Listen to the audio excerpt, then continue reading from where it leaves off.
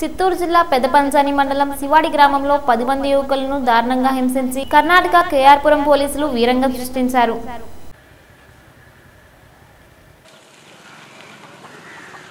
శివాడి గ్రామానికి చెందిన పది మంది యువకులను దారుణంగా హింసించారు.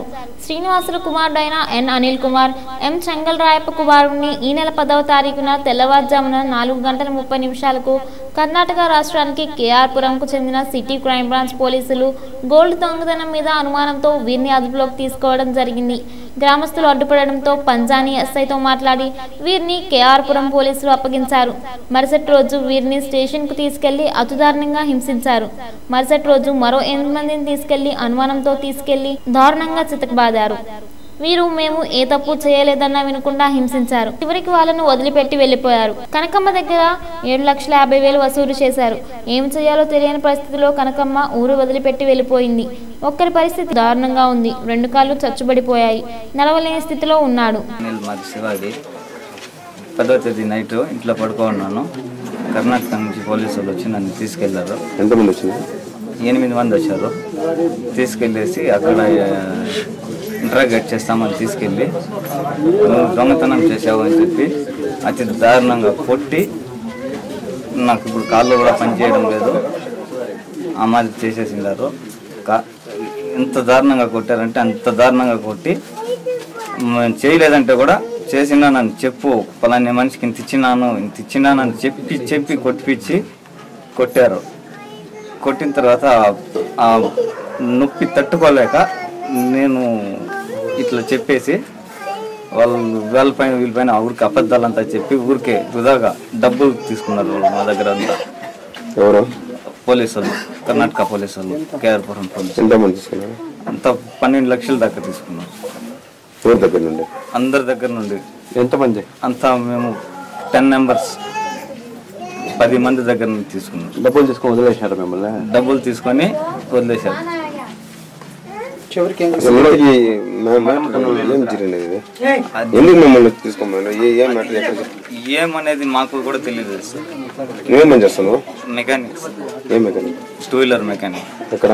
నాలుగు రోడ్లో. ఎప్పుడు వదిలినారు మిమ్మల్ని? మమ్మల్ని నిన్న నైట్ వదిలినారు. ఇక్కడ లోకల్ పోలీసులు ఎవరు రాలేదా? ఇక్కడ లోకల్ పోలీసు వాళ్ళకి చెప్పినాము ఎస్ఐకి చెప్తే ఎస్ఐ వండుకొని తీసుకెళ్ళిపోండి వాళ్ళు ఇంటరాగేట్ చేసి పంపిస్తారంట. ఆయన తరపున నుంచినే వెళ్ళాము ఆయన ఏమి కానీ చెప్పలేదు. పేరు హరీసు నా శివాడి సార్. నేను ఆటో తోలుతాను. మూడు గంటల రాత్రికి ఎప్పుడు? మంగళవారం నాడు మూడు గంటల రా- మంగళవారం రోజు రాత్రి మూడు గంటలకి ఎవరోలో వచ్చిన వాకిలి తట్రి. హలో ఎవరు ఎవరు అని. ఎవరు వాకిలి తీసేపాటికి బేడీలు వేసేసి వేసేసిన వెంటనే ఎవరు ఏమి అంటే నేరుగా నోట్లో నుంచి మాట రాకుండా మూడు గుద్దులు గుద్దేసి. గుద్దేసిన వెంటనే నోట్లో నుంచి బ్లడ్ ముక్కుల్లో నుంచి వచ్చేపాటికి నేనేమి చెప్పలా. ఏమి ఎందుకు ఏ- ఇట్లా చేయన్నారంటే ఏమి ఏమి మీకేం తెలీదా ఏమి?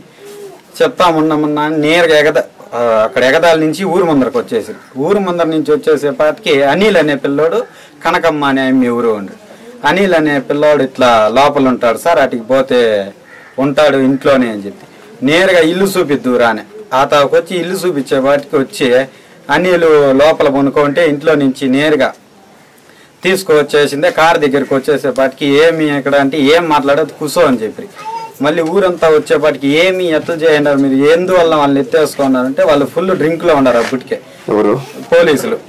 మీకేం అవసరమో చెప్తాము మీకేం చెప్పాలని ఇది లేదు. మేము చెప్తాము నింది నేరుగా ఎత్తి కార్లోకి వేసుకున్నాం కార్లోకి వేసుకునే వెంటనే ఊరంతా వచ్చి అడ్డుపడి ఏమి ఎందుకు ఎత్తేసుకుంటున్నారు ఏమి అంటే ఇది దాంతో మీకు పని లేదు ఏమో మేము చెప్తాము అని కారు కానీ ఊరికే కొట్టేపాటికి వచ్చి ఆ రోజు పొద్దున్నే వదిలేసిరి. వదిలేసి పంజానీకి పోయి పంజానీలో పోయి ఎస్ఐకి చెప్పినారు. ఇట్లా చెప్పేపాటికి సరేలే వాళ్ళు పంపిస్తానని చెప్పి. పంపించిన వెంటనే ఇత నుంచి ఊర్లో నుంచి పోయి పొలంలేరుకు పోతుంది ఫోన్ చేసేపాటికి నీరుగా తీసుకొని వెళ్ళిపోండి వాళ్ళని ఎవరు? పోలీసులు? పంజాని. ఎస్ఐకి. ఎస్ఐకి ఫోన్ చేసేపాటికి ఆడ పోయి వాళ్ళ దగ్గర సంతకాలు తీసుకొని నేరుగా పంపించేయండి అని. వాళ్ళని అడిగితే ఏం లేదు చెప్తాం రాండి ఆడికి చెప్తాం రాండి అని చెప్పి నేరుగా ఎత్తుకొని వెళ్ళి. వాటికి ఒక గంటకు పోతుంది. ఆ రోజు పొద్దున్నే సాయంత్రం వరకు ఏం చేయలేదు. నైట్ ఎత్తుకొని పోయి కుక్కల్ని కొట్టినట్లు కొట్టినారు సార్ బట్టలకి ఇట్లా ఇప్పేసి బెంగళూరుకి తోడుకొని పోయి కేఆర్పురం. కేఆర్పురం స్టేషన్కి తోడుకొని పోయి ఆ రోజు తోడుకొని రోజు గుమ్మని సాయంత్రం ఆరున్నర ఏడు గంటల్లో నీట్గా బట్టల గిట్లు తీసేసి నీట్గా ఏమి ఎక్కడానికి కూడా అడగల. మొత్తం కాళ్ళు చేయిలు పగలగొట్టేసి మమ్మల్ని చంపేయండా ఈ బాధ వద్దు ఈ నరకం ఎందుకు మాకు ఈ బాధ పెడతా ఉన్నారు చంపేయండా మమ్మల్ని నడాన్ని ఎత్తుకొని పోయింటే కూడా సమ- ఏమి క్యారెట్ పచ్చిమిరపకాయలు మిక్సీలోకి వేసుకోవచ్చి గుద్దలేకి పెట్టి క్యారెట్లు కొట్టి మరీ ఎత్తుకోవచ్చి రూమ్లోకి ఎత్తుకొచ్చి పారేసి. ఏం సార్ ఎందుకు ఇట్లా చేయన్నారు అంటే ఇక్కడ ఏం సమాధానం చెప్పారు? అన్న మేము ఏం చెప్పినారు వాళ్ళు? కారణం ఏమి లేదు. ఏం మీకు తెలీదా? ఊరందరూ మీద చెప్పమని అన్నారు. ఎవరు నువ్వు చేయండా ఏమి తెలియదు ఊరిలో చెప్పు. వానికి ఎంత ఇచ్చిండా? వానికి లక్ష రూపాయలు ఇచ్చిండా? వీన్ని వాళ్ళ ఇంట్లో దొంగలు ఇచ్చిండా? వానికి కేజీ బంగారు ఇచ్చిండాను? వానికి ఇరవై బండ్లు ఇచ్చిండాను? ఇట్లా నీకు తెలిసిన వాళ్ళకంతా ఒక పది పదహైదు మంది ఒక ఇరవై పేర్లు చెప్పు. నిన్నేమి ఇది చేయకుండా పంపిస్తాము అని చెప్పారు సార్. అంటే యా ఊరు వాళ్ళ పేర్లు? కర్ణాటక. మా ఊరు వాళ్ళ పేర్లే. శివాడి వాళ్ళ పేర్లే. మళ్ళీ రెండో దినం వచ్చి ఎనిమిది మందిని ఎత్తేసుకున్నాను. ఇట్లా ధనంజయ రెడ్డికి ఇచ్చిన్నాను ఇట్లా పొంగునూరు రెడ్డికి ఇచ్చిన్నాను ఆ, ఊర్లో వచ్చి భానుకి రమేషకి మాడి యువరాజుని శివాడి రాజేంద్రకి పత్తికొండ ఇంకొక అబ్బాయి సురేష్ మా అబ్బాయి పేరు తెలియదు సార్ శివ. పలానోళ్ళకి ఇచ్చిన్నారు అని మీరు చెప్పండా? మిమ్మల్ని ఏమి అనము? వాళ్ళే చెప్పినారు వాళ్ళే చెప్పించిన వాళ్ళే పేర్లు చెప్పినారు వాళ్ళే పేర్లు కూడా చెప్పించారు దీని వెంటనే తోడుకొని పోయి ఫోటోలు వాళ్ళే చూపించినారు సార్. చూపించేసి పలానోడు యాడుంటారు. వాళ్ళు ఏం చే వాళ్ళని చూపించండా? మిమ్మల్ని ఏమి అనము? వాళ్ళని చూపించేసే వాళ్ళని చూపించేసి మేము తోడుకోవచ్చి వాళ్ళని అడుక్కుంటాము ఏమేమి చేసినారు? ఏమి? మిమ్మల్ని ఏమి మాట్లాడము మేము ఇంత కేసు ఉండదు. ఏమి ఉండదు. నా పేరు ధనంజయ రెడ్డి. శివాడి గ్రామానికి సర్పంచ్ని. ఆ రోజు వచ్చి ఇద్దరు పిల్లల్ని బలవంతంగా తీసుకొని పోయేకి ప్రయత్నించినారు. కర్ణాటక పోలీసు వాళ్ళు అని చెప్పినారు వాళ్ళు మఫ్టీలో వచ్చిండేదాన్ని చూసి మా ఊరు వాళ్ళు మీరెవరో దొంగలు గంగలు ఉన్నట్టు అర్ధరాత్రిలో వచ్చి లేపుతా ఉన్నారు అనేసి వాళ్ళని నిలేసినారు. మా పోలీస్ స్టేషన్ మా పోలీస్ స్టేషన్కి రండి వాళ్ళు కావాలంటే మేము అప్పచెప్తాము అని చెప్పినంటే మళ్ళా ఆ రోజు వచ్చి దౌర్జన్యంగా ఆడవాళ్ళంతా పక్కకు తోసి ఈడ్చుకొని పోతే మా ఊరు వాళ్ళంతా నిలేసి నేరుగా మా పోలీస్ స్టేషన్కి అప్పచెప్పినారు వాళ్ళని. పెద్ద పంజాని స్టేషన్కి. వాళ్ళు తీసుకొని పోయి వాళ్ళని కొట్టి మా ఊర్లో ఒక పెద్ద దొంగ కూడా ఉన్నాడు సార్ వానికి మతి స్థిమితం లేదు. వాడిని కర్ణాటక స్టేషన్లో ఉన్నాడంట ఇప్పుడు. మాకు తెలిసిన ఇన్ఫర్మేషన్ ఆయన్ని పెట్టుకొని వాని దగ్గర వాట్సాప్లో ఫోటోలు అంతా మా ఊరిలో ఎంతమంది ఉన్నారు? ముప్పై నలభై మంది ఫో- ఫోటోలు తెప్పించి ఈ ఫోటోలు మీదంతా మేము ఎంత ఇచ్చినాము ఎంత ఇచ్చినాము అనేసి చెప్పండి అని చెప్పి అనేసి వీళ్ళని కొట్టి హింసించి వీళ్ళు ద్వారా మా పేర్లంతా చెప్పించినారు మీ సర్పంచ్ పేరు కూడా మా సర్పంచ్ అట్లాంటి వాడు కాదు అది ఇది అని చెప్పినంటే కూడా అనేసి వాళ్ళ కారం కొట్టి అది ఇది చేసి నన్ను కూడా వచ్చిందే లేపినారు. లేపి ఏం సార్ ఏమి ఇది అంటే నీదేం లేదు రెడ్డి నువ్వు రా మీ ఊర్లో ముగ్గురు నలుగురు పేర్లు చెప్పినారు వాళ్ళు దొంగలు ఇచ్చినారంట అని చెప్పినని వాళ్ళు చూపించేసి వచ్చే దూరం అని చెప్పినని నువ్వు కూర్చో నీతో నా పని ఉంది నన్నే తీసుకొని పోయినారు తీసుకొని పోయేసి ఆ స్టేషన్లో కోసం పెట్టుకొని ఏం రా పరిస్థితి అని చెప్పి బండిలో పోతా పోతా అని ఈ అనిల్ అనే అబ్బాయిని అడిగిన.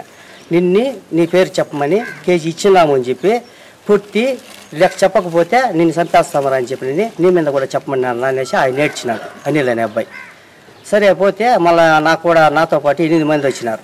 ఎనిమిది మంది కూడా మీదేమీ లేదు. నా భార్య వాళ్ళంతా వచ్చి గలాట పెట్టిన మా త- నా భర్తది ఏమన్నా తప్పు ఉంటే ఒక్క గ్రామం ఇచ్చింటే కూడా కేజీ కట్టిస్తాము అని చెప్పినంటే మళ్ళీ నన్ను పిలిచినారు. ఏం పని నీ మీద కేజీ చెప్తున్నారు ఒక అర కేజీ అన్న కట్టేలా కాలు కేజీ అన్న కట్టేవాళ్ళ లేదా నూరు గ్రాములు అన్న కట్టేవాళ్ళ అది ఇది అని చెప్పినంటే ఒక గ్రాము కట్టించేయలేదు మీరు నన్ను ఏడే ఉరిసిచ్చి చెప్పండి? చేయని తప్పుకు నేను చే ఇది చేయడం లేదు.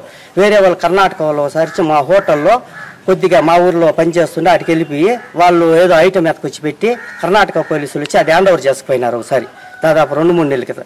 ఆ కాజుతో ముందంతా వాడు వాడు దీంట్లో తగులుకున్నాడు. మళ్ళా చెప్పండి ఒక కేజీ వంద దగ్గర అంతా ఇంత వసూలు చేసుకుంటామని వీళ్ళని భయపెట్టించి ఇంత చేసి మళ్ళీ లాస్ట్కి మీదేమీ లేదు. మీరేదో ఫార్మాలిటీ ఇచ్చేసిపోవాల్సి వస్తుంది.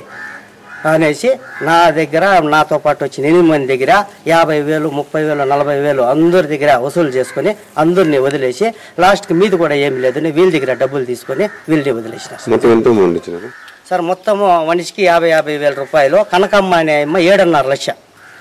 ఒక్కదానికే మూడు కేజీలు ఇచ్చినాము అని చెప్పి అవి ఉండ సార్ ఊళ్ళోనే? పిలిపించండి. ఏడున్నర కేజీ లక్ష ఆయమ్మ దగ్గర మాత్రం వసూలు చేసి ఇంకా మా అందరి దగ్గర యాభై యాభై వేలు లెక్క ఎనిమిది మంది దగ్గర నాలుగు లక్షలు చేసుకొని ఆయమ్మ వాళ్ళు వ్యవసాయమే సార్. అంత అమౌంట్ ఏంటి ఆమెకి అంత అమౌంట్ ఉంటే వాళ్ళ నాయనలు కన్నా కథలో కన్నా చెప్పి బాగా డబ్బులు సంపాదించుకున్నాను సార్. ఆ భూమి వేరే అమ్మింది. ఆ డబ్బులు ఉంటే దానివల్ల ఆయమ్మని టార్చర్ చేసి ఏడున్నర లక్ష రూపాయలు నెట్ అమౌంట్ మా గ్రామ పెద్ద మనుషుల సమక్షంలోనే ఏమే? ఆనంద శంకర్ రెడ్డి ఆంతోని వీళ్ళంతా కలిసి పోయి డబ్బు కట్టేసి ఆమెను రిలీజ్ చేసుకొచ్చినారు.